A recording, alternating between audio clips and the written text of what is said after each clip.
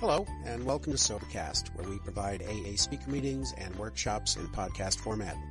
We're an ad-free podcast, and if you enjoy listening, please help us be self-supporting by visiting Sobercast.com, look for the donate link, and drop a dollar or two into our virtual basket. We hope you enjoy the podcast. Have a great day. Hi, everybody. I'm Don. I'm an alcoholic. I'd like to thank my good friend Zeke for that somewhat adequate introduction. And uh, before I get too wrapped up in uh, talking about step 12 and sponsorship, I'd be remiss if I didn't take a moment and thank the other speakers that have presented this weekend. You've had seven presentations so far.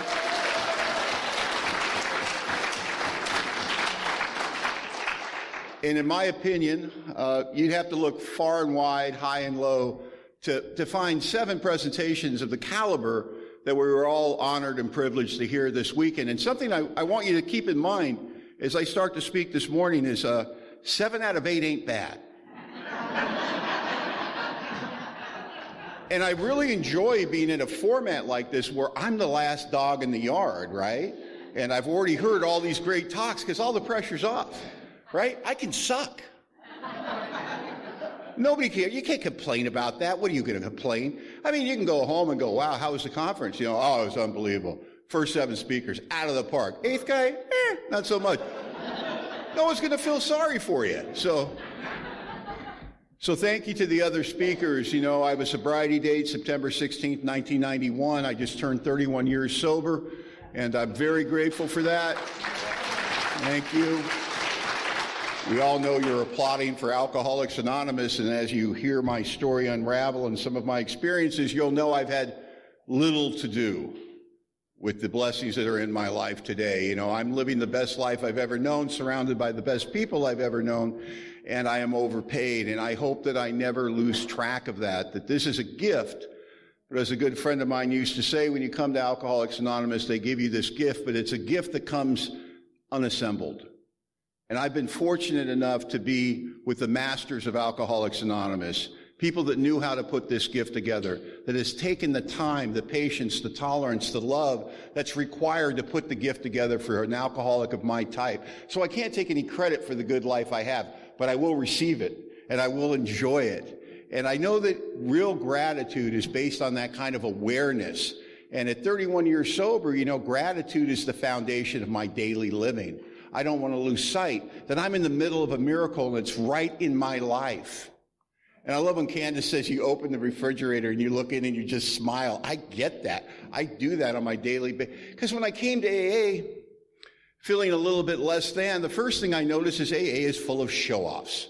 You know, and uh, God, I'm at the low point of my existence, and everywhere I look, somebody's showing off. I mean, you guys had things that I could never imagine having, like a, a valid driver's license, you know, and uh, and there's an address on the license, and if you go there, you live there. Now that's showing off. I mean, that's an over demonstration of spirituality, in my opinion. And uh, I have no clear cut explanation for how I ended up in Alcoholics Anonymous. I, I want to blame somebody. I mean, I, I had a story when I got here, and it's a story of victimization, but, you know, then you get a sponsor, and ah, Listen, if you're an alcoholic and a victim, that's your business. I have no opinion on that or judgment of that. But if you want to remain a victim here in Alcoholics Anonymous, I'm going to give you a little free advice. Whatever you do, above all else, don't get a sponsor. Because they seem to delight in destroying victimization. There's a propulsion system for untreated alcoholism described in the big book. And it says, I'm driven by a hundred forms of fear, self-delusion, self-seeking, and self-pity. Any one of those things can kill me. You put them together, it's a deadly cocktail. But in Alcoholics Anonymous, we won't tolerate self-pity. And some people might not understand that when they see him for sponsorship, when they see the transparency demanded for recovery, when they see us hold each other accountable and sometimes the spiritual peer pressure that's here, it might be misinterpreted. It might be looked at as a lack of compassion, and nothing could be further from the truth. The most compassionate people I've ever met in my life, I've met in Alcoholics Anonymous. What it is, is we know self-pity kills drunks. Poor me, poor me, pour me another drink. And I gotta tell you, man, sponsorship destroyed my self-pity. Because all my life I've been able to tell you a sad story. My mom's alcoholism, the physical abuse. I never knew my dad. He got up at two years old, said he's going out for a pack of smokes, and I haven't seen him since. Tough neighborhood, never had a guy to show me how to grow up and do things. You see how it just rolls off the tongue? There's a reason for that. It's practiced by the time I get here. I've been telling that story of victimization so hard and so long that my perception is my reality, and my reality is my truth. You can't move me off of that point. It's not my fault. Walk a mile in my shoes. Maybe you should do that before you judge me. Maybe you would drink the way I drank. And the problem with being a victim in Alcoholics Anonymous or out there actively destroying myself with beverage alcohol is every drink I take, I take with impunity because it's really not my fault. Let me explain. And I'm good at explaining. Everybody knows. How do you, how do you tell a good lie? You gotta believe it first. You gotta commit to the lie. And I was committed. And then I got a sponsor. And he took me kicking and screaming through the steps and he got down in the inventory process, what really happened in black and white. And it was astounding the things I forgot on my way to Alcoholics Anonymous. You know, I had a mother that raised three kids on her own in a tough neighborhood never took a dime of welfare. Got up in the morning, got us dressed, got us fed, got us to school, took two buses to work, two buses home to pick us up, to do homework, to feed us, to clean us, to put us in a safe apartment to get up. And her reward is she got to get up the next day and do it again. Now, this woman that I just described to you that should be classified at no less than a saint, when I came to Alcoholics Anonymous, I was filled with rage and spite and venom for that woman. That's a lack of perception. That's a delusion. And thank God that the steps of Alcoholics Anonymous and the inventory process in particular corrected the only mistake a loving God ever made in my case. And that's he made my eyes looking outward instead of inward. And I'll give you an example of how sponsored it does that. I get sober in Alcoholics Anonymous. I'm 80 grand in debt to the IRS. Which, you know, I've, I've done the math. I've looked it up. That's like 167,822 current dollars. I kind of look that up every now and then. And that's not a big deal. You got a half a million in the bank. Write the check. But if you're unemployed and you haven't worked in a year by the time you come to AA and then your sponsor gets you a job as a laborer on a framing crew, you never work with your hands and you suck at that job, you have a nickname on the job site, the bleeder. and you're making minimum wage with taxes taken out, 80 grand's a big deal. And I was so full of self pity on that. And my sponsor, man, he didn't tap me on the head and go, There, there, little alcoholic, you're home. It's all going to be okay through the amends process. God sees your effort, and it's going to. You know, you know what he said? He goes, "Man, that's a lot of money." he goes, "You may never get out of debt." But you'll be sober. Because then they laugh. They laugh at our misfortune until we learn the joke, and the joke is us. But I'll tell you what, whatever you got, whatever you got, when you get here, bring it to Alcoholics Anonymous. The members of Alcoholics Anonymous will take what you bring and they'll turn it into service. Oh my God, my sponsor took that little nugget of information for the next five years. If any newcomer had the audacity to complain about his little $1,500 IRS debt, this would be my sponsor. Oh, hold that thought, Jimmy. Hey, Don, you got a minute? and I'd walk over innocently and he'd go, Don, tell Jimmy how much you owe the IRS. And I'd look at Jimmy, I go, I owe the IRS $80,000. And Jimmy'd go, Jesus. And my sponsor would laugh and Jimmy would feel better. And I'd go, just want to be of service.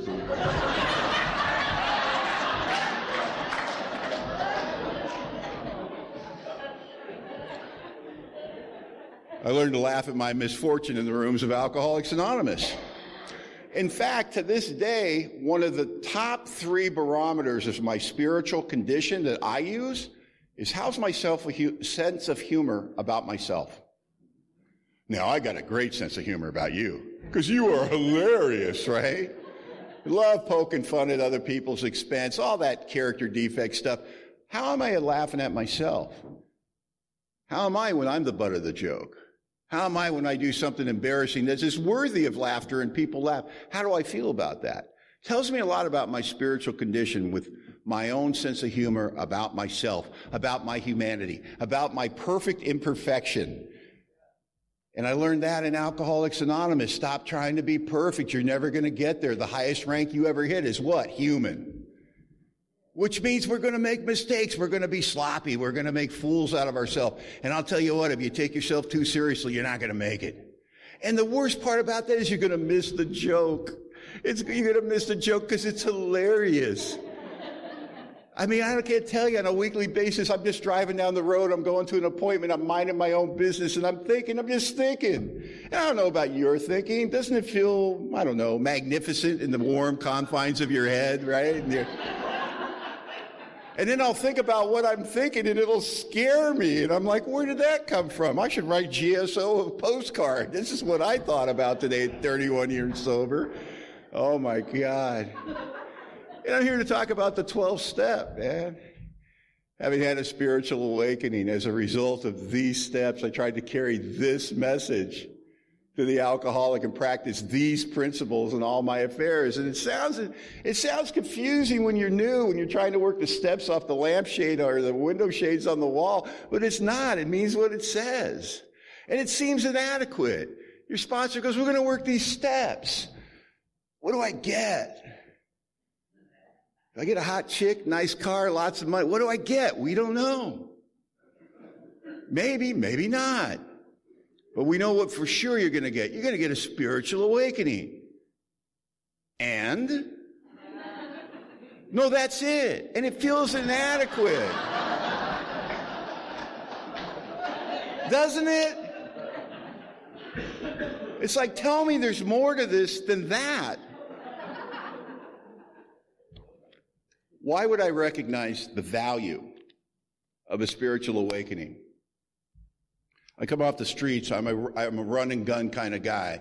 I lie when the truth will serve me better. I have no, you know, I used to think I had no principles. My sponsor said, Oh, no. He goes, Look up principle. And principle says law of conduct.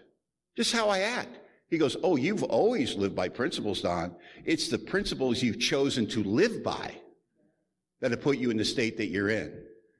Get the other guy before he gets you. Never tell the truth. Don't let him know what's going on with you. On and on and on. The list of principles I operate under. I arrive at Alcoholics Anonymous with a satchel full of character defects and a bushel full of delusions. You know, we talk about delusion and self-delusion in Alcoholics Anonymous, and both of those are going to kill me if I don't find out what they are and don't have those dispelled, right? Because a delusion is just a false psychotic belief, means that there's all kinds of things in the world that I think are true that just aren't true. But that's not the dangerous one. The dangerous one is the self delusion. That means there's stuff about myself that I'll pass a lie detector, I'll put my hand on the Bible and swear I think it's true about myself that just isn't true. And you know what's crazier about it? I'm the only one that thinks it's true about me. My family doesn't think it's true about me. Society doesn't think it's true. My girlfriend doesn't think it's true. My employer doesn't think. Here, here's my biggest self delusion, the one that's going to kill me when I come to Alcoholics Anonymous. I'm a wonderful guy. I just drink too much.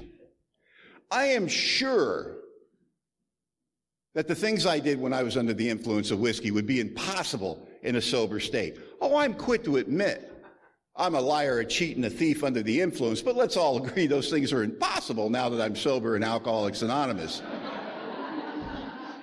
and that's my self delusion until I continue to lie, cheat, and steal in Alcoholics Anonymous. My favorite example of that I go and I'm working construction. I bleed every day. I'm an undisciplined newcomer. I have no money. I've got to get up in the morning to make my lunch or I go hungry because I got no money, right? And I get up at 4.30 in the morning. I'm living at my sister's house because when the going gets tough, the tough go home. And I'm going out, same, same route every day, right? Through the laundry room, into the garage, out the man door, down the hill about a half an hour where a guy was kind enough to pick me up for work every day. And one day I get up late, I'm undisciplined, I guess I'm not eating that day, I don't have time to make lunch. I'm blowing through the door, sitting on the washing machine is my sister's purse. I'm 45 days sober. And I think to myself, why does she do that?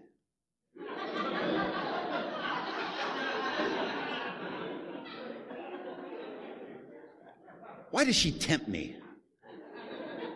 And boom, you got the angel and devil on your shoulders. Don't do it, don't do it, just leave. And you know, the devil's like, just look, man, whoever, you know, it's just a look. And I'm like going, and I look, man, and I get the wallet and there's all this cash. And the angel screaming out, don't do it, you're in AA, you're sober, you have a sponsor, you have a home group.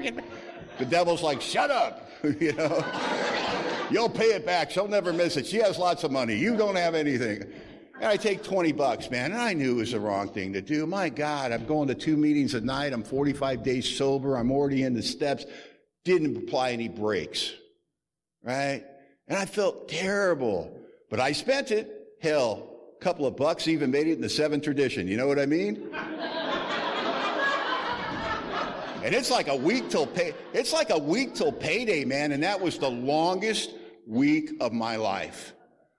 And I'm just counting the days till I get paid so I can slide that money back in her wallet. And I got paid and I got that 20 bucks cash, man. When nobody's looking, I slide that 20 bucks back in her wallet. I go, whew, I don't know much, but I know I'll never do that again. And I didn't. I didn't any more than six or seven times. And, uh,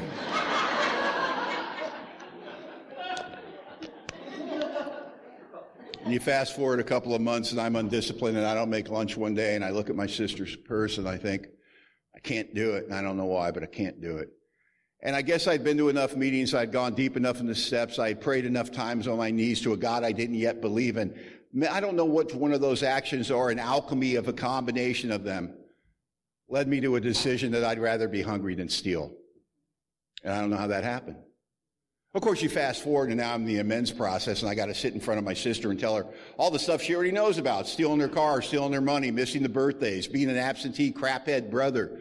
You know, I got to, I got to tell her about everything I did, which most of what she already knows about. I got to ask her how that affected her. I got to ask her what I can do to make it right. I got to be willing to take that under advice with my sponsor and try to clean up the wreckage that is accumulated by a life of living on self-will. That's all great in the amends process. But then I got to tell her this thing and I go, I got to tell you something. And I don't think you know about it. And this is going to be really hard, and I don't know how it's going to affect you. And she goes, What is it? I go, He stole from you. She goes, Oh, Donald, you've been stealing from me for years. And I, and I go, Oh, no, this is Sober and Alcoholics Anonymous recently. She goes, What are you talking about? I got to tell her story. I go, Well, some days I'd be late and I didn't make my lunch, and I'd, I'd steal 20 bucks from you. Then on payday, I'd slide it back in. And I must have done that six or seven times. And I, I have no excuse. I'm going to AA. I was stone cold sober when I was doing it. I can't blame the whiskey. And I don't know what I can do to make that right or how that affects you. And I know she's going to put me on blast. And this is what she says. Oh, thank God you're telling me. I thought I was losing my mind. I go in my wallet, I know I got 60 bucks, I got 40 bucks. I go in my wallet, I know I got 30 bucks, I got 50 bucks. I thought I.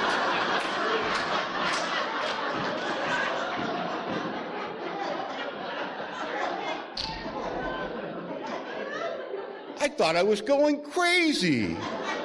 Thank you so much for telling me. Just want to be a service, you know.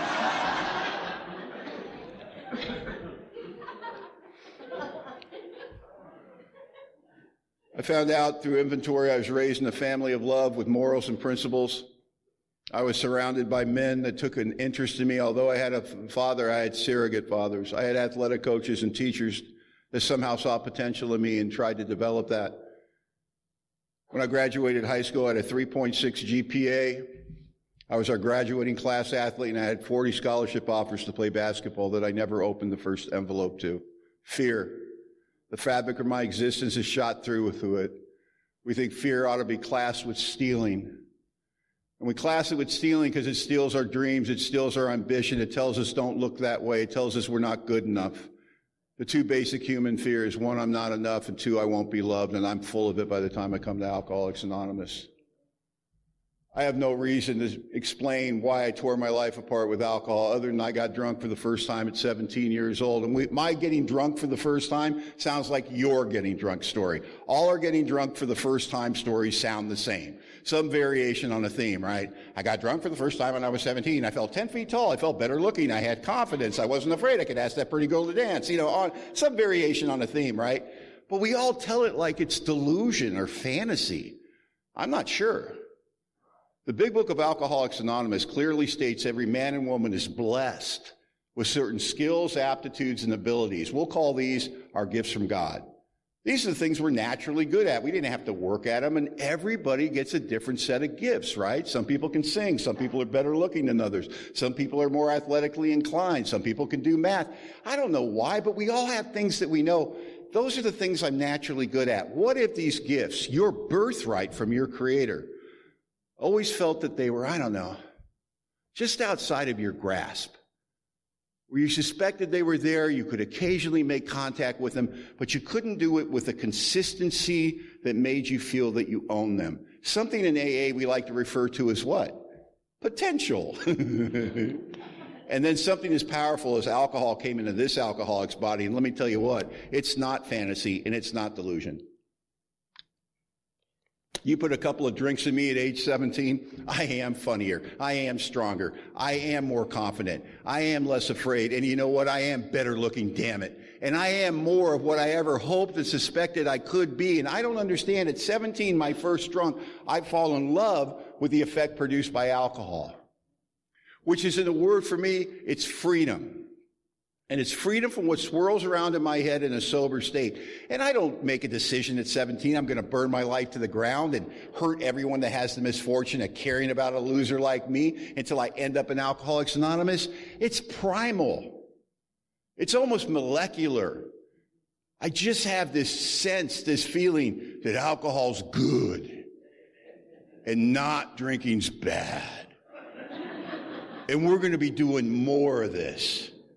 And you know the rest of the story. You know, I go through the stages of alcoholism drinking no trouble, drinking with trouble, drinking all trouble, until it's all trouble all the time. And I can't seem to get those moments of the past where I could step out easy and I liked the effect produced by alcohol and I felt free. I can't even get that. When did the bait and switch come in? When did it stop working? When did I have to go to oblivion to get any relief? And I got self knowledge at 25 and didn't make it to Alcoholics Anonymous to age 31. And self knowledge for an alcoholic of my type feels like a solution because it's not mom or dad or the court system or your employer or your girlfriend telling you you got a problem with booze. Self knowledge is delivered in our mind, in our voice with that screaming that you're going to die if you don't do something about your drinking. And I got that and it felt powerful. I knew I was never going to drink again. Yet two weeks later, after my own program of recovery, which entails telling everybody I quit drinking, so don't try to tempt me, telling those lies, yeah, I feel great. I'm back in the gym. I'm working out again. Everything's going great at work. And I look good on the outside. The laundry starts getting done. I start showing up to work five days a week. You know what I mean? The stuff that they can see starts looking better. But inside here where my soul lives, with every day since my last drunk, I'm getting more what? Irritable, restless, and discontent. Doctor's opinion in the big book of Alcoholics Anonymous. The biggest understatement in the big book of Alcoholics Anonymous, right? And I drink again. And I spent six years trying to stop drinking. Pull the geographic, move to Boston, right? Find out they drink in Boston, you know? I'm in Boston for three years till I well out my welcome, man. I come back to LA. You uh, know, three days later, I get the best job I've ever had in my life. And I don't mean while I was drinking. To this day, it may be the best job I've ever had, but I'm an alcoholic, right? I'm like a cat flung outside a second story window. And I will land on my feet, boom, in a three piece suit and a job interview, you know, and, uh, a, and I'll get the job. I can get the job, get the girl, get the money. I just can't keep any of it, right? We're just, we're great getters. We're lousy keepers. And I burned my life to the ground. And I have various vain attempts to control and enjoy my drinking. Brief periods of recovery followed always by a still worse relapse. A feeling like I was regaining control to find out I had lost still more control. I'm out there living chapter three and I don't even know it. I think I have a decision in the game. I don't understand I've lost the power of choice where drink's concerned. And I end up at my sister's house because I burned my life to the ground one more time, lost one more job, threw away one more opportunity. Can I come stay at your house and get on my feet? She says, You can stay in my house, but if you drink, you're out of my house. And I drank every day in that house for seven months before I came to AA. And if you don't know how you do that when they're watching you, maybe you're not a sneaky rat like I am. I got, a, I got no problem drinking around your schedule. You know what I mean? I'm unemployed. what time do you go to work in the morning? 7 a.m., bars open. And we're way past drinking to kid ourselves we're better looking or to have courage to ask that pretty girl to dance, man. We're doing oblivion drinking. Let's get the whiskey on board hard enough and fast enough to shut off the head so we can pass out in the room or mooching off of our family. To come to to face the hideous four horsemen. Terror, frustration, bewilderment, despair. And that morning interview with that hangover mind. Who are you going to hurt today, Don? Who are you going to rip off today? Boy, you've taken every good thing that's ever come your way and you've torn it to shreds. How's it going to end for a guy like you? And that's my life, and I see no way out, and there's no safe direction, and I know I'm going to end drunk, and it's just a matter of time. And I have surrendered.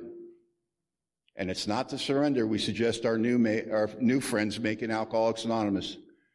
It's the surrender many of us make while we're out there drinking the surrender of a desperate man who no longer has the will to do battle with King Alcohol one more time. Who am I kidding? I'm never going to get sober. And that's the state I arrived in Alcoholics Anonymous in.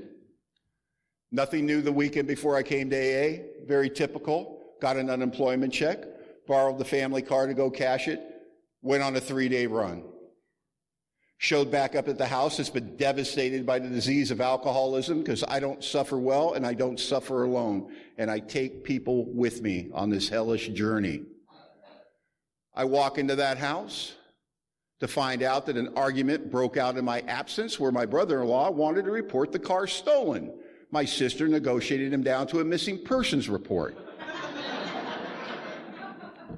My sister has called the police. They are on their way to do the follow up work. I start yelling at my sister because I'm a victim. I got warrants for my arrest. I'm going to jail. Thanks for nothing because now it's her fault. I go outside to wait for the police. I don't know what I'm going to be saying. I know I'm going to be lying though.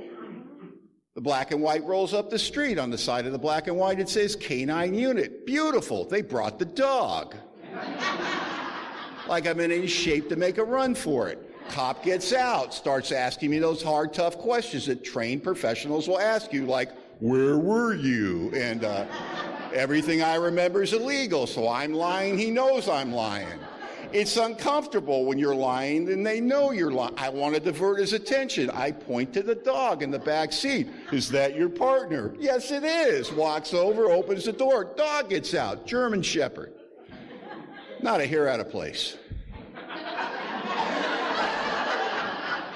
like a Rin Tin Tin reincarnate, and with no no prompting on my part, he started telling me the dog's story. The dog's past mandatory retirement. We can't retire him. He's too damn good. The dog's participated in more arrests than any dog in the history of Ventura County. The dog has participated in more arrests and rescues than any dog in the history of Ventura or Los Angeles County. This dog was so phenomenal that the officers took a collection out of pocket to send him over to Europe for international competition where he kicked butt on German, German Shepherds, right?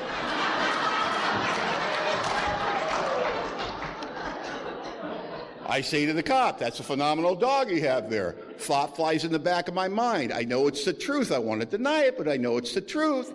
The truth is this dog has done significantly more with his life than I've done with mine. I hate the dog now. I did not know that was going to be my entrance into Alcoholics Anonymous because I walked back into a house devastated by the disease of alcoholism. They want me gone, which was appropriate. But I'm an alcoholic and I'm not too proud to beg. Waterworks, Academy Award performance. I'll die out there. I got nowhere to go. You gotta give me a chance. I'll go to AA and everything. Have no idea why I said that to this very moment. I think it was an over demonstration. Is it odd or is it God? My family didn't believe I was going to go to AA. My first week in AA, my sister drove me to AA and drove me back from AA. You know how that makes you feel when you look the way I look and you get in your older sister's car at the end of an evening of Alcoholics Anonymous? She's driving you home to her home, her 31 year old loser brother. So, Donald, what'd you learn in AA tonight? You know. I don't remember my first night in Alcoholics Anonymous. It's reported I was there and somewhat entertaining. I do remember my second night because I hit the lottery. There's a lottery in Alcoholics Anonymous, and my prayer for you, if you're new, is that you hit it in some fashion that I did. I went to the six o'clock meeting at the Simi Valley Alano Club, and after the meeting, which ended at 7:30, I got my back against the wall, and I did not look that evening the way I look today. I got hair down the middle of my back, and it's filthy. I don't shower anymore. I'm wearing my sunglasses at night because I don't want you to see my eyes. I got my arms folded on my chest and I'm rocking back and forth looking at you like this. I got my tough guy radar out. And I'm not folding and rocking like this because I'm a tough guy. It's because I'm coming up on 48 hours without a drink of alcohol. I'm physically addicted. And every molecule in my body is screaming in unison for a drink. Let's get a drink. Let's get a drink. The book, big book of Alcoholics Anonymous says the main problem of the alcoholic resides mainly in his mind rather than his body. My mind starts talking to me. Look at them, Don. They're clean and they're happy. They don't want you here. They're not even talking to you. Because everybody's giving me a wide berth at the Simi Valley Alano Club because I am dangerous. Because I'm terrified.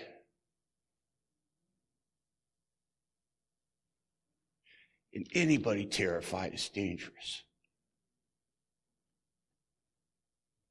And my head starts talking to me. Why do you do this to us? Oh, you're going to quit drinking? It's going to be different because you're in AA. You know you're going to drink again, Don. We know you're going to drink again. You always drink again. What do you do? You take the pain, you take the pain, you take the pain, and then you go drink anyway. Here's an idea, Scooter. Why don't you bypass the pain? Let's get out of this joint. Let's go get drunk. And I'm going to leave Alcoholics Anonymous on my second night of recovery. And I'm going to go get drunk. And it's going to cost me everything. It's going to cost me the love of the last relative that'll have anything to do with me. It's going to cost me my place of residence. And more than likely, it's going to cost me my life. Let me tell you what, small price to pay. If you can make the madness in my head stop for a couple hours. And I know that because I've always been willing to pay that price. And I caught a break. Because over in the corner that night were two good members of Alcoholics Anonymous named Lou and Mark. And it's the most important moment of my life. Whether I live or die is about to be decided in the next few minutes. But for Lou and Mark, it was Tuesday. and Lou and Mark were where they were every Tuesday night between the 6 o'clock and the 8 o'clock meeting at the Simi Valley Alano Club. They hung out together and drank that AA coffee. They told those AA war stories. And more importantly, they had their eyes trained on the room and their eyes trained on the door, and they were looking for men to 12 step. And the way they tell the story is they saw me. And Lou looked at Mark and went, Whoa. and Mark looked at Lou and went, Uh huh. And then I believe they took the most important action we'll ever have the honor and privilege of taking in a room of Alcoholics Anonymous. These two good men took a 30 foot journey across a clubhouse to cordially welcome a man to Alcoholics Anonymous who was dying from the disease of alcoholism. And he did it in the kind, unassuming way that we're taught to do it. Hi, I'm Lou. This is Mark. We don't think we've met you. Why don't you come sit with us? I'm here to tell you that stuff saves lives.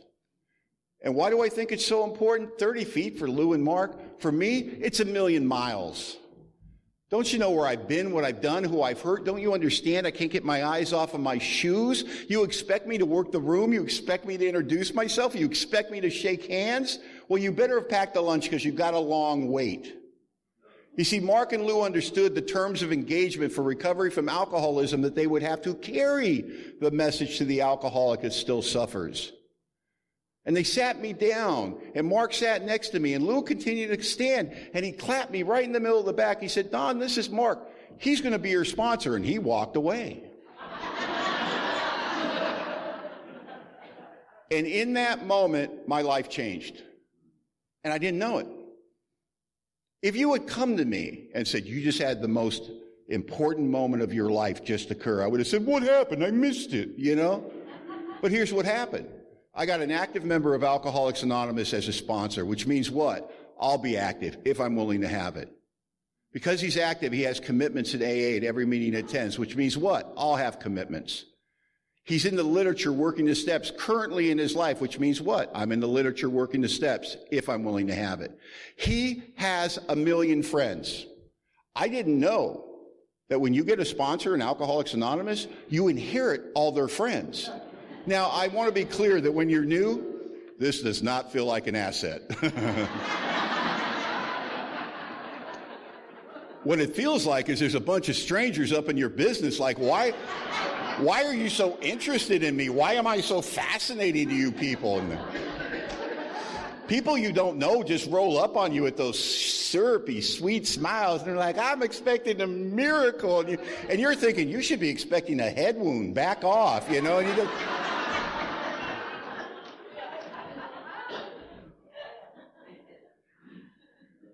So I got a sponsor, I got a home group, I'm in the literature, I got commitments, I got friends and fellowship. In an instant, all the spiritual tools of Alcoholics Anonymous are laid at my feet, and my job is to pick them up. Now, here's where it's tricky. I don't know how to use any of them. Now, I'll tell you what, I joke about getting into construction when I was new in sobriety and I had a nickname, the bleeder. It's all true. I didn't know which end to hold a hammer. Yet, if you come to my house right now, I'll open my garage, and what you'll see in my garage is this beautiful workbench is built in a U shape around the garage. Hanging pegboard systems with every tool you know that has a specific place it goes. Trust me, I tell my wife all the time every power tool known to man in storage underneath. I got table saws and tile saws and reciprocating saws. I got saws to cut saws. You know what I mean? He got all that. And you'd think to yourself, wait a minute, you were, you were the bleeder. You don't know how to work with your hands. How did, let me tell you, it's the same way the spiritual tools in Alcoholics Anonymous works, right? So when I'm new and I get into like working with my hands, Repetition breeds familiarity. Familiarity breeds comfort. And today, if I get a new tool, I bring it in. What do I do? I open the tool. Right on the top are the instructions. I leave the tool in the garage. I go inside. I sit down with a cup of coffee. I read every word in the instruction manual. And at the end of that, I think I got an idea what they're trying to tell me. I think I got an idea. Got a pretty good idea. I think I know what they mean. Do I start working with the tool? No. I call up one of my buddies who's had that tool for years and I go, listen, this is what I just bought. You know how to work that thing, right? He goes, yeah, I got one. I've had one for years. Would you come over and line me out on it? Absolutely. He comes over, helps me set up the tool, shows me how it works, shows me how not to cut off something of my body, right? and then what do I do? Practice, practice, practice. Repetition breeds familiarity, breeds comfort. I do the same thing with the steps with my sponsor. I don't know how to use the spiritual tools. Spiritual tools become spiritual weapons in the hands of the uninformed. So I get a sponsor, but I read the directions, right? I become proficient, right? I'm 90 days sober. I come to AA, and they used to say this, read the book, read the book, read the book. By the time I'm 90 days sober, they're like going, stop reading the book, stop reading the book, stop reading the book. I'm 90 days sober. I'm that guy, right? I'm quoting the book every time I share, and I'm quoting. but I'm driving the old timers crazy. Not my sponsor. People come up to me and go, "You could teach a parrot to talk." People come up to me and go, "Well, you can quote it. Let's see if you can live it." And they're hurting my feelings. My sponsor pulled me aside. Go, don't listen to him. Because you're doing great. You keep reading that book. I'll tell you when you're not doing good. Thank God he didn't piss on my enthusiasm. You know what he did? He fanned that flame. He fanned that flame.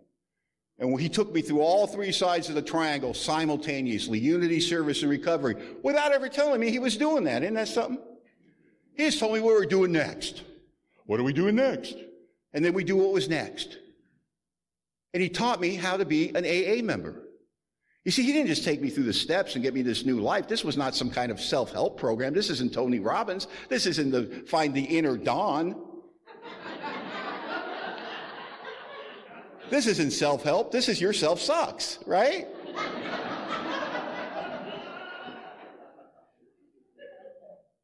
You see, my sponsor believed that an alcoholic would rather see a beautiful sunset than listen to the world's greatest sermon. And he was a beautiful sunset. And all my sponsors have been men of action and beautiful sunsets. What they do has spoken so loudly, I haven't had to listen to what they say. I have been able to follow their example. They live by the principles of Alcoholics Anonymous.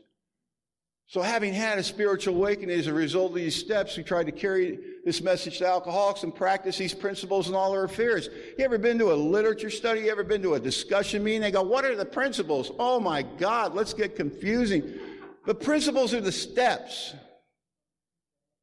I'm going to practice these principles, these steps in all my affairs. Bill gave us a clue when he wrote in the 12 and 12. The 12 steps of Alcoholics Anonymous are principles, spiritual in nature, when practiced as a way of life, will dispel the need to drink alcohol and leave the sufferer happily and usefully whole. I'm going to be of some earthly good if I learn how to bring the steps into my life. That's what it's telling me. But I'm a mess when I get here. I don't know how to live. I'm not housebroken. I'm a street guy. And I find out because I have a sponsor that loves me. And I, man, it took me years to realize that he didn't yell at me. I used to think my first sponsor yelled at me every day. I found out what he did was he told me the truth calmly, and it felt like a hurricane wind coming through me. Because mostly he pointed out how I was wrong about things. Remember how painful that was when you were new? That's okay, Don. You're just wrong. Wrong? I can't be wrong. I can't be wrong lay awake at night. He's crazy. I'm not wrong. you got to be here a while and work the steps until suddenly you have that epiphany like, change is impossible unless I'm first wrong about something I thought I was right about. It is the constant ingredient in change. Now, when I'm wrong, I'm not thrilled, but I go, well, I guess it's time to change or I get to evolve. I don't have to be that guy anymore. I was just wrong about something. My, my sponsors are the ones that taught me that. But I'm not housebroken. I mean, it was embarrassing because let me tell you, there's an unwritten set of rules about Alcoholics Anonymous that's not in any conference approved literature that seems to be handed down from old timer to old timer to old timer over the years. And so I would go to meetings and my sponsor's job was to let me know what grievous infraction I had committed that evening. My first 30, 60, 90 days, I'd go to a meeting, be on my best behavior. I'm honest. I'm trying. End of the meeting. More often than not, I'd see my sponsor. He'd catch my eye. He'd give me that crooked finger. Come here, Don. And I, I think to myself, now what did I do? And I found out there's things we don't do in A. He'd say, Don, if you're bored in a meeting, you can't go in the corner and do push-ups. Don. You can't get up and get coffee six times during the meeting. You're disturbing everybody. Don. If you don't like what an old timer says to you, you can't threaten to snatch the life out of him and make amends later. Don. But I don't know, man. It's dog rules in Alcoholics Anonymous, you know?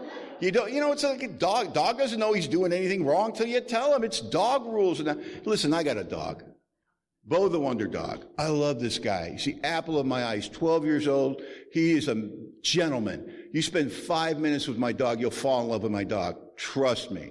But Bo, like any dog you can think of at one time, was a puppy. I remember when we got Bo and I, one, we had him about three weeks, man. And I'm on the phone with a sponsee one night and Bo comes into my line of sight. And just, I remember thinking, oh, there's Bo. Oh, he's so cute. I love that little guy. And then he went into a crouch, right? And I was like,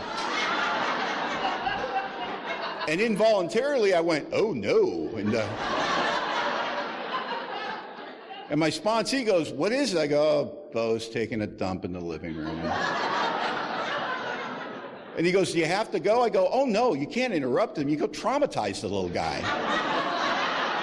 I go, that's, that's not how you potty train a dog, man. You got to kind of stock him, kind of keep an eye on him, right? And when he looks like he's about to break bad, you got to scoop him up and take him outside. It will freak him out a little bit because he'll be like, I'm in here, I'm in here, I'm in here. And, and you'll drop him on the lawn outside and he'll look at you with this innocence and he'll say, what the hell was that about, man? And you're staring at him, he's staring at you, and hopefully he'll go, well, I'm outside kind of got to go to the bathroom. And if he does, if he takes a poop, you better throw a party. You're able. Who's a good boy? And he'll get all excited. He'll go, oh man, I didn't know. You want me to poop out here? I could totally do that. I love you. My sponsor did exactly the same thing with me in Alcoholics Anonymous.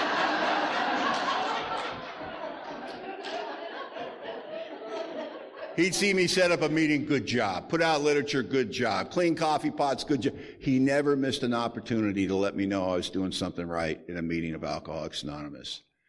And I'll tell you what, man, we all have that shared experience, you know? We watch people crawl out of the bushes. This guy crawled out of the bushes in my home group a while back home group's the SOS men's group. We meet on Monday and Wednesday nights at 7 o'clock in Bellingham, Washington on 14th Street in the Fairhaven district of Bellingham, Washington, man. And it's a men's group, right? Where men are men and the mental illness is not accurately measurable, you know, and the,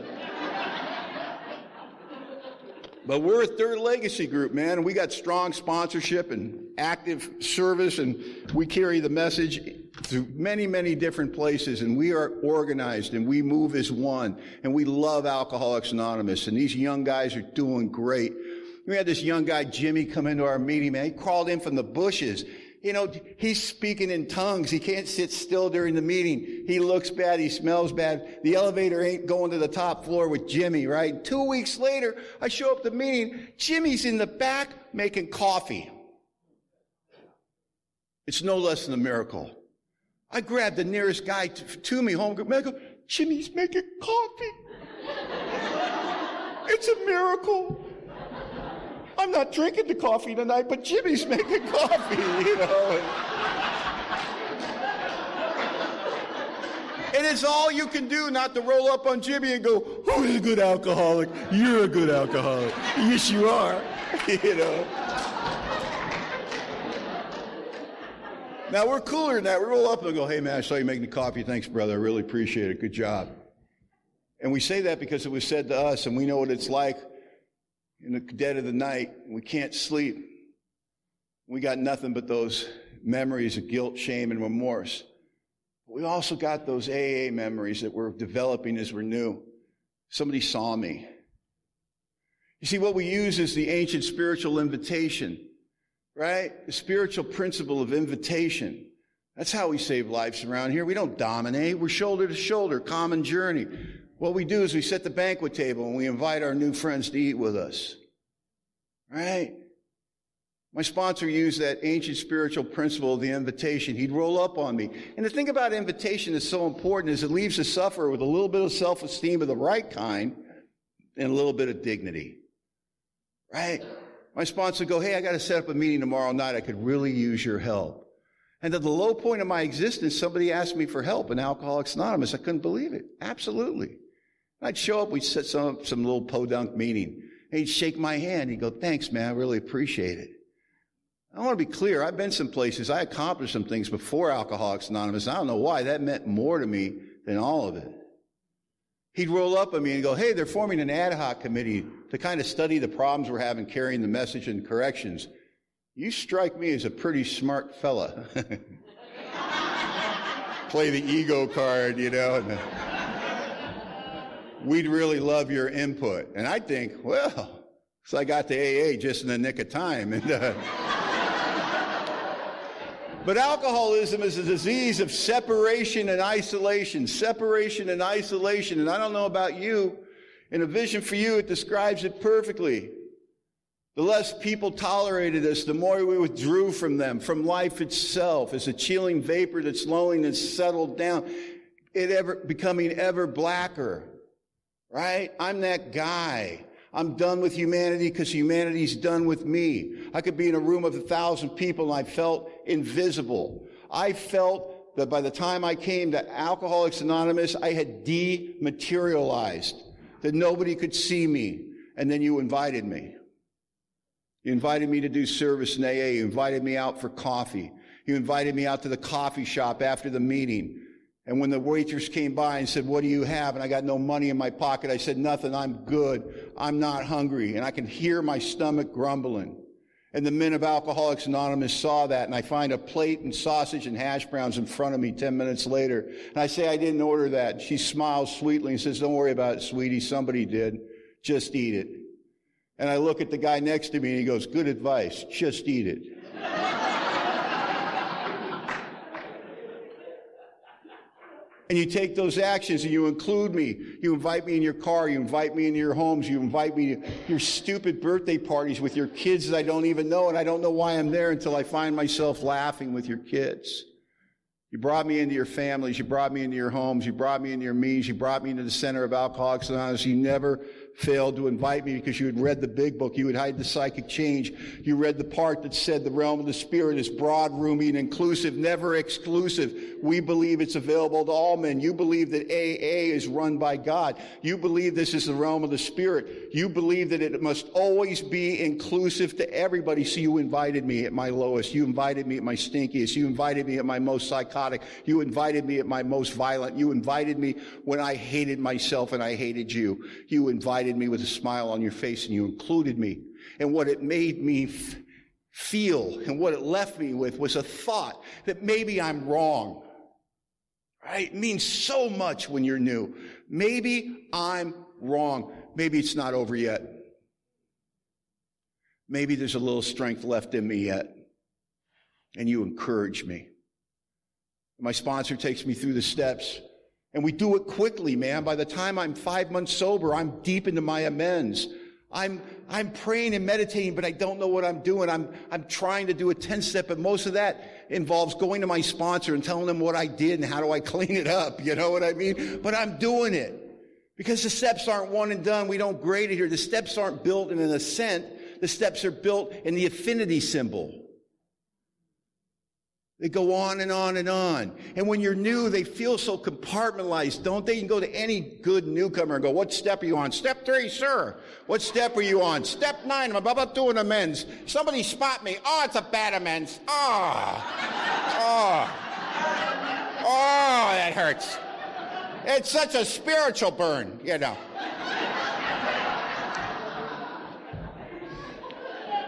But as we stay in the process of the steps, that affinity pattern, right, what happens? The loving hand of God comes down. And it feels like he pulls the compartments that we superimpose, separating the steps. And what's left is what the book refers to in three places as design for living. My most important description of that, design for living that works in rough going.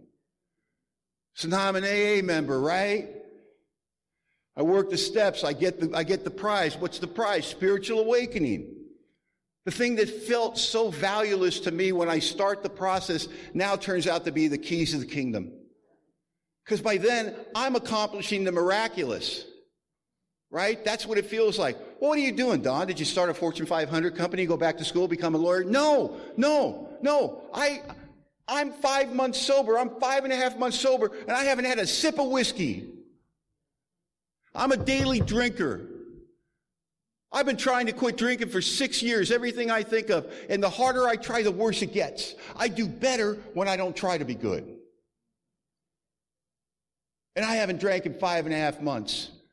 No more evidence of the presence of a loving God do I need because I am a bird that doesn't fly. I'm a fish that doesn't swim. I'm a drunk that doesn't drink. I'm living in a natural state and somehow I'm able to breathe in and out. Yeah, I'm having tough days. Yeah, it's not easy. Yeah, I don't sleep that good at night. But my sponsor told me, he goes, look, buddy, we know you. You took a long, long, dangerous walk into some dark, dark, dangerous woods. But here's the difference. You walked in alone. But you're walking out with us. And we're Alcoholics Anonymous and we know the way out. So take our hand and hold on tight because we lose a lot of them on the way out of the woods and we don't want to lose you. But we bet your bottom dollar we know the way out. But it's a long walk out of those woods. And there's a lot of amends you got to make, and there's a lot of change you got to go through, and a lot of delusions that have to be smashed, and a lot of self delusions that have to be smashed. And it's painful growing up in Alcoholics Anonymous in your 30s. Go talk to Sharon. She knew me when I was barely two years sober. You, I was trying. I'm trying. Sharon just get that look like, oh my God, he really thinks he's doing well. You know, I just like.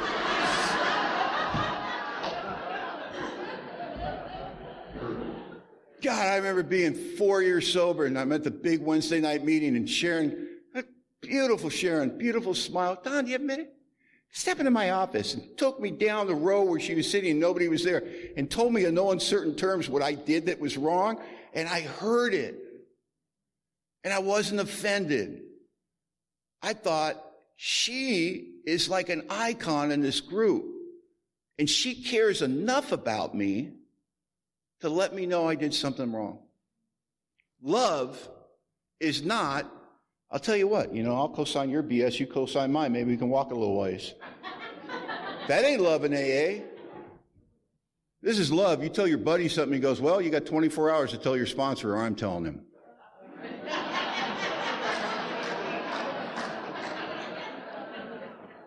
That BS that we think we lived in the streets, man, don't snitch, don't tell anybody. I've, I've seen everybody roll over on everybody when they get a chance to save their own hide. Only in AA have I seen the kind of love that sponsorship illustrates and one AA has for another AA where I love you more and care more about your life that I'm willing to risk your wrath rather than see you die. Because the game we play around here is you bet your life. I'm six months sober. I go on a 12 step call. And, uh, and I'm lucky, man. I'm one of the guys that we had active 12 step work when I got sober. A lot of people have never been to a real 12 step call. And, and, and I don't think we've lost our 12 step legacy. I just think geographically it's changed. We need to remember that. You know, because we're not a secret society anymore, there's a conveyor belt to the front door of our home groups. And sometimes we forget that's where our 12 step work needs to happen in our home groups.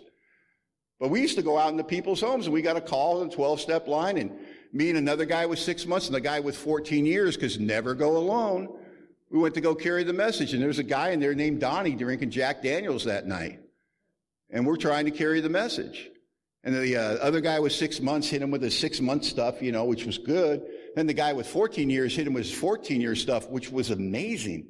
And then I hit him with my six month stuff, which at the time sounded like this.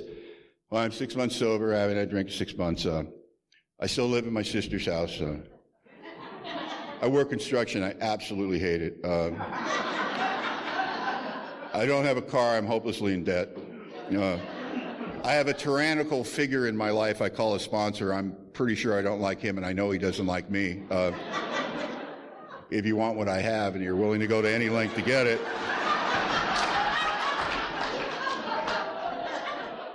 And we leave, we leave, and Donnie's still drinking. And I think it's a failed 12 step call, you know, but I'd been taught, like, if you're not drinking, it's always a success, right? I get off of that job. I bleed out every day the next day. I'm at my sister's house getting ready for the meeting. The phone rings and it's Donnie. Couldn't believe it. He was drunk as Cooter Brown the night before. He says, Hey man, where's that meeting tonight? So I give him directions to the meeting and I ask Donnie, do we need to come pick you up? And he says, no, I got a car. And I thought, damn, he's doing better than I am. And, uh, so now I got to rush down to the meeting so I can beat Donnie to the meeting, you know, because I've been taught to do that. And uh, he shows up and I do what we do. I introduce him to everybody. I get him a half a cup of coffee. We're sitting down talking and Donnie says, Hey man, that stuff you said last night about sponsorship, which I didn't even remember saying, he goes, it makes sense to me. Would you be willing to sponsor me? I said, I'll get right back to you. And I jump up, man, and I run through the meeting. and I find my sponsor. I go, you know that 12 step call last night? He goes, yeah. I go, the guy's here. He goes, oh, that's great. I go, yeah, he asked me to sponsor him. He goes, that's beautiful. What, what did you say? Well, I told him I'd get right back to him. His whole face changed. He goes, let me get this straight. He's drunk last night. Yeah.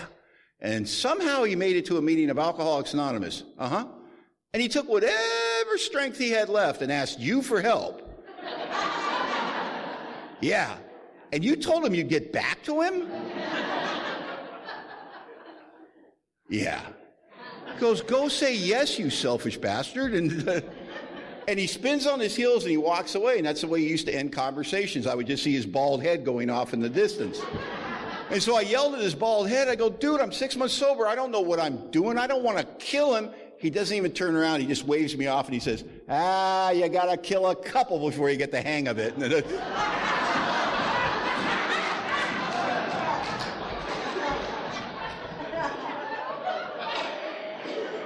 Alcoholics Anonymous, we care. No, we don't. No, we don't. So now I'm sponsoring this guy, and I find out I know how to sponsor. I find out it's monkey see, monkey do.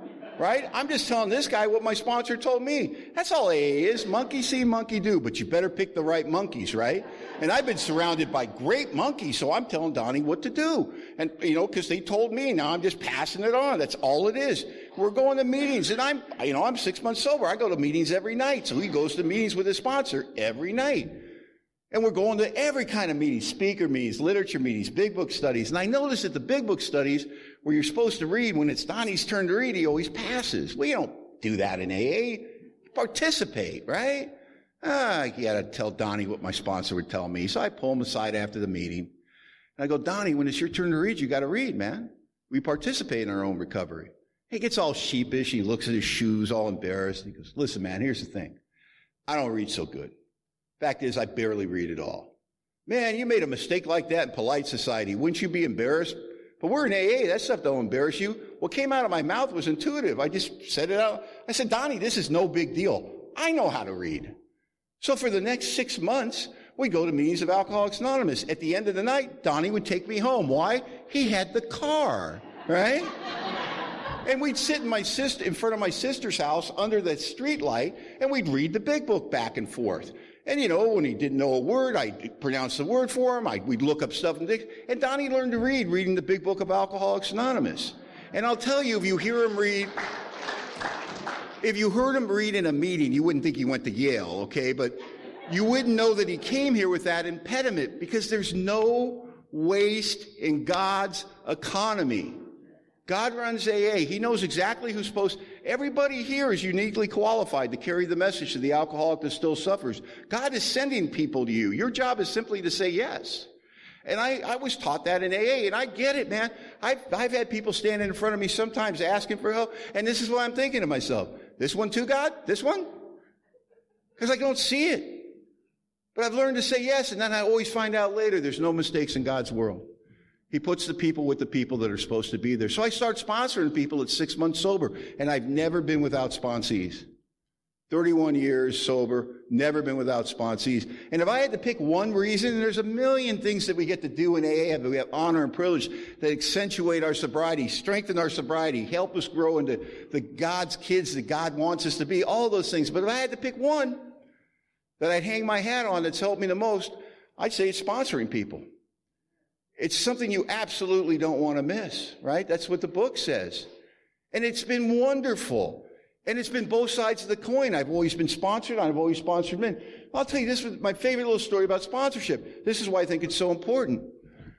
I was 10 years sober and I got sick.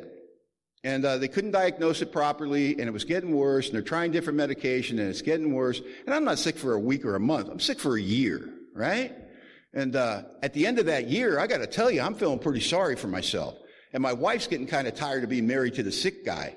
And it's really inconvenient. And they put me on this experimental medication. They said, this is either going to work great or hell's going to break loose. Monday morning, I take the medication for the first time. All hell breaks loose. I'm only at work for 20 minutes and I got to go home. I'm in the worst pain I've ever been in. I'm laying in bed in the fetal position wearing a parka because I'm so cold. Then I'd be so hot sweat's flying off my body, literally, and now I've got no clothes on. I'm vacillating back and forth, and this is punctuated by well-timed or mistimed attempts to get to the bathroom in time. And I am full of self-pity. The self-pity is dripping down the walls, and I'm pissed at God. Because I'm 10 years sober and I've done everything he's asked me to do, and this isn't supposed to happen to me. How dare you? And me and God, we're not on speaking terms. And I mean, I just, oh, I just hate everything. And then the phone rings. And I look down and caller ID and it's a guy sponsored. I'm thinking, oh no, not now, not now. but I got good training in Alcoholics Anonymous, man. So I answer the phone. He goes, how you doing, sponsor? Because everyone knows I'm sick. And usually in those situations, I lie, right? I go, well, I'm having a tough day, but with God and AA, I'll be okay. But for whatever reason, that day I didn't have it in me, man. I let it fly. I said, How am I doing? How am I feeling? Let me tell you, I'm in the worst pain I've ever been in my life.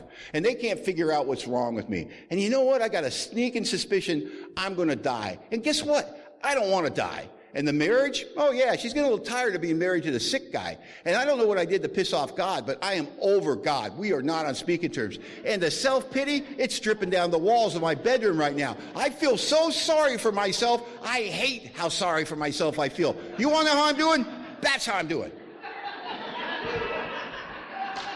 It's dead quiet for a couple of seconds. And he says this, Oh my God, Spons. I am so sorry to hear that. But listen, I met this girl.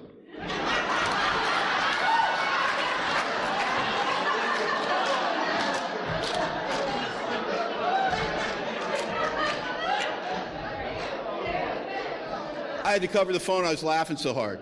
And I got the joke. And I got the joke. And it snapped me out of my self pity. And I got to tell you, man, that's a turning point for a guy like me. I rec- I don't know, man. I'd been sober long enough that God had to hit me over the head with that experience. I recognized the value. I got it. I'd always heard old timers say, my sponsees do more for me than I do for them. And I think, that's not my experience. 10 years, I got it. I got it. And man, I count on it today. I can't tell you, man, I, you know, I'm out there in the real world with a real job slaying dragons, right? And I've got, you know, people talk about how do you bring prayer meditation into your daily living. I don't have to worry about that crap. I just sponsor a lot of people, right? Because they don't care. It's like baby bird, baby bird. Feed me, feed me. They don't care, right?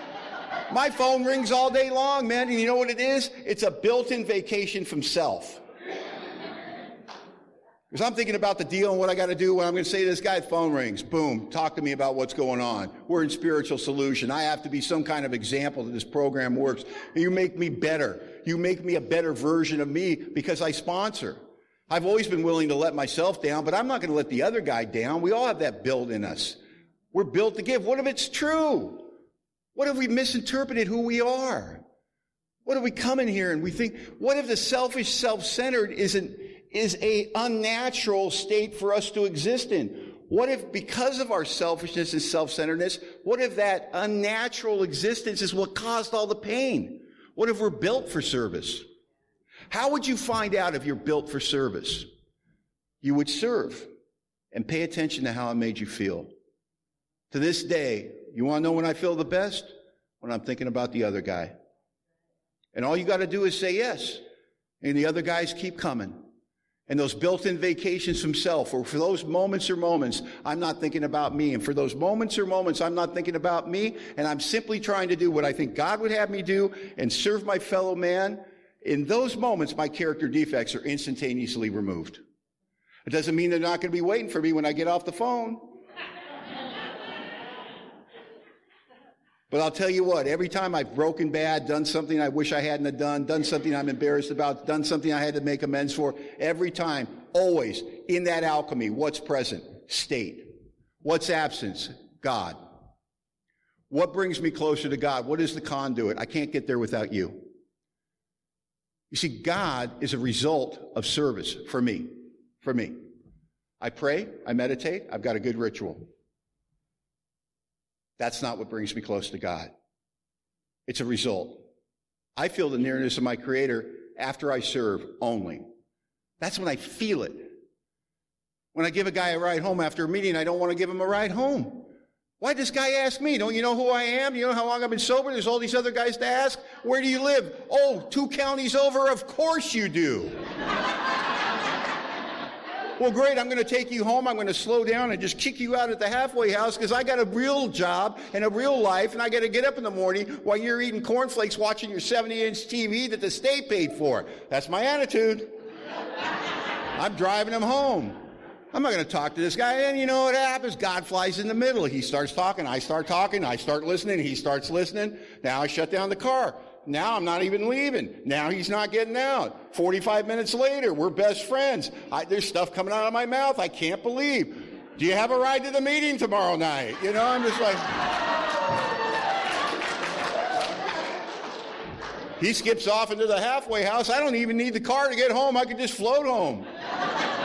I did service in Alcoholics Anonymous based on spiritual inconvenience, and I'm thinking to myself, I wonder what the little people are doing tonight. Because I'm living large in Alcoholics Anonymous. I've never needed sponsorship as much as I've needed it this year.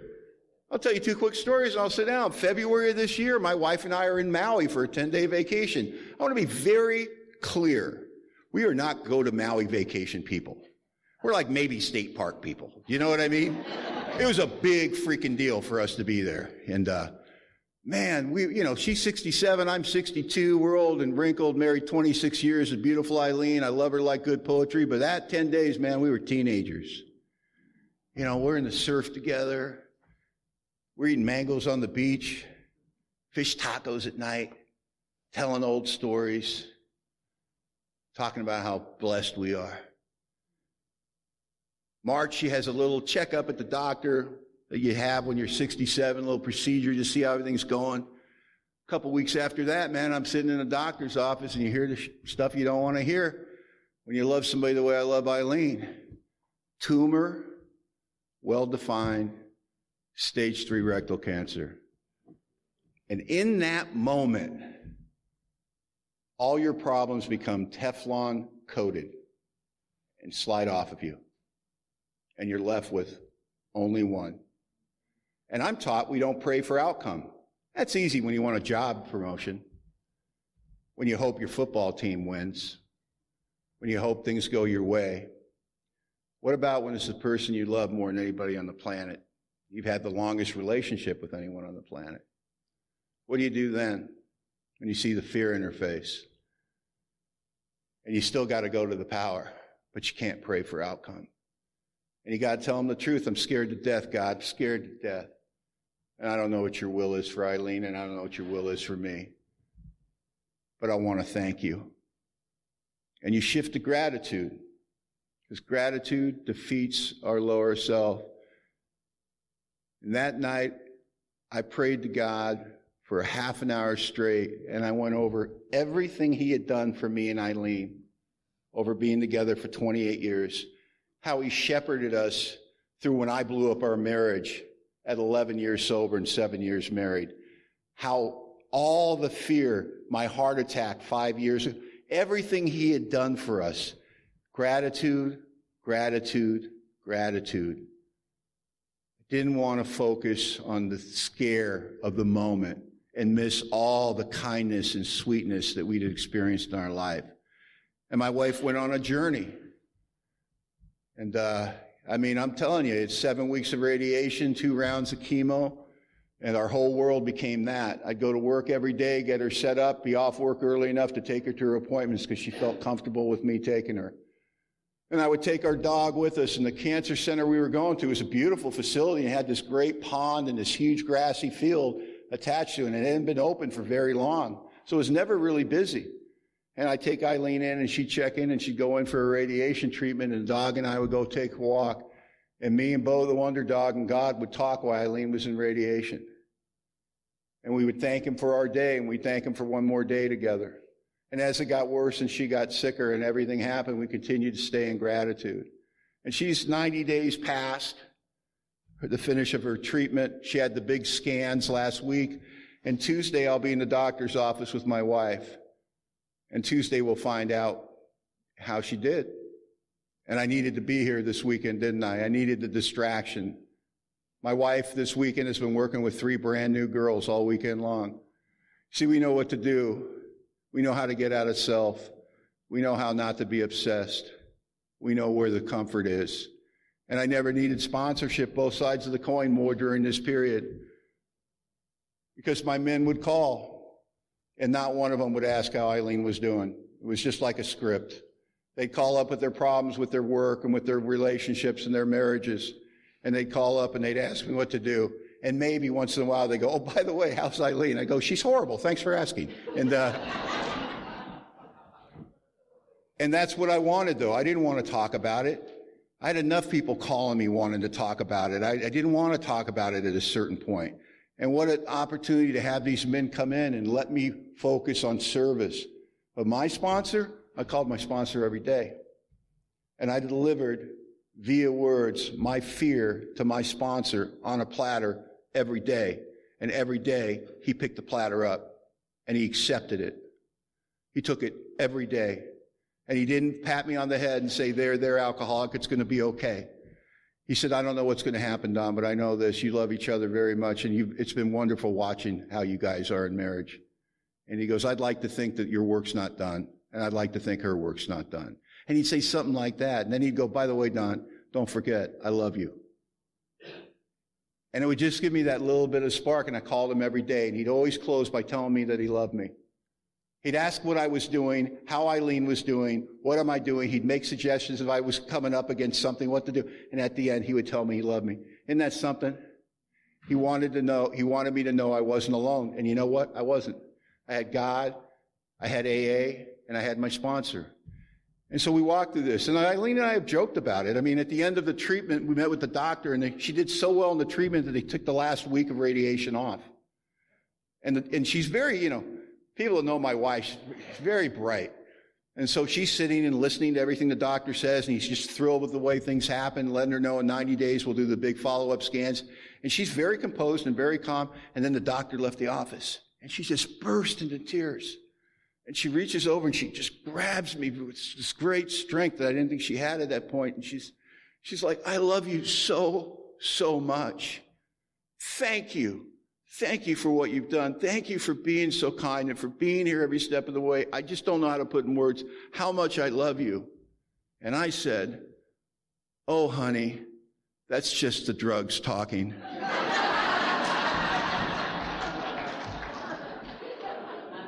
You'll get over it. and she laughed. And that's my part in the equation of our marriage is I serve and I make her laugh, and that's what makes me valuable to her. So, I pretty much run out of time. I want to thank all the other speakers. I want to thank the committee, Dave and Dave Incorporated, for doing such a wonderful job here this weekend.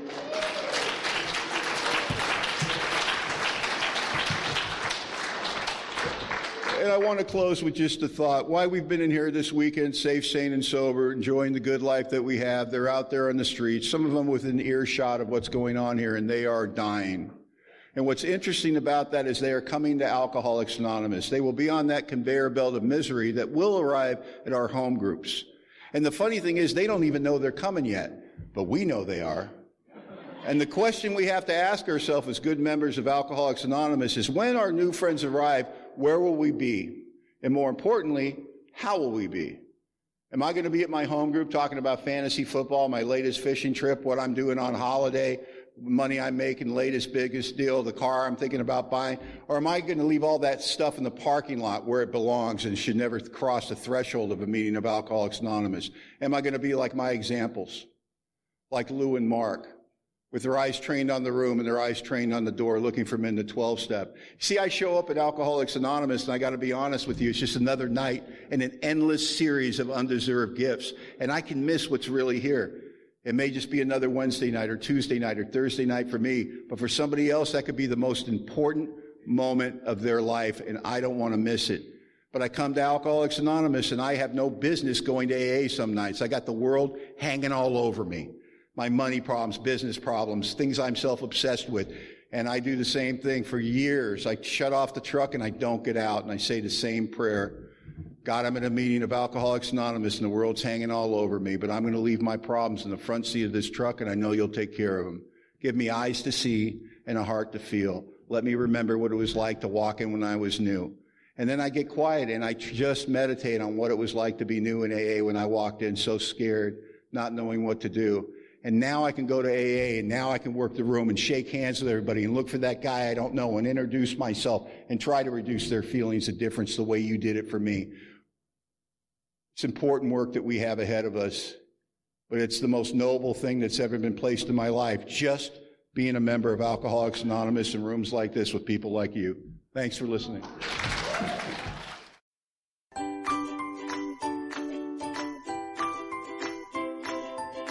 Thanks for listening. I hope you enjoyed the podcast. Sobercast is ad free, and we'd like your help in order to keep it that way. So if you'd like to help us be self supporting by pledging a dollar two a month, visit Sobercast.com and look for the donate links. Thank you very much.